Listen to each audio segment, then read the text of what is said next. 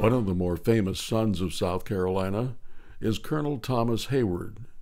We know about him as we drive the road named after him.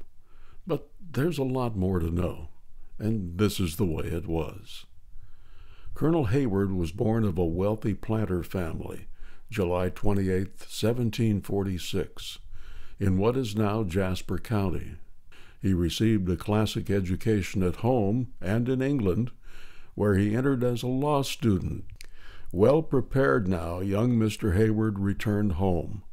He quickly became a prominent political figure. He served as a delegate from South Carolina to the Second Continental Congress. He proudly cast his vote for independence from England. Heyward led troops against the English and was captured and imprisoned. Heyward was married twice, and each wife was named Elizabeth.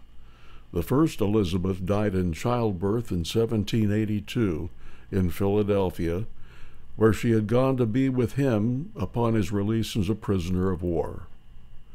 Now, lest we forget, the Heywards were gentlemen farmers. They owned thousands of acres of land on which they cultivated by keeping hundreds of enslaved human beings working at the crack of a whip.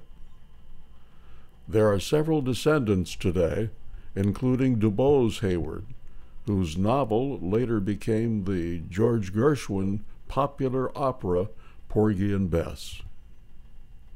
That's the way it was. It's history, some of it good, some heroic, and some of it bad all of it the way it was.